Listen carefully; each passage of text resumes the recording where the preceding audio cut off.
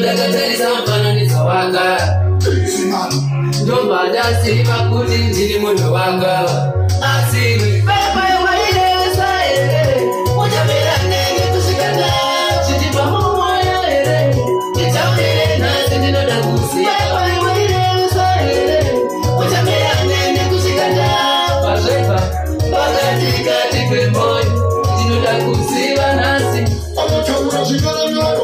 ndikati ndambomunzwa bekachipopota anodika chimwe akatuma spice kukatya chikafu chake wangu nokopota pane rudo rekuchwaisa mazve ndaringavari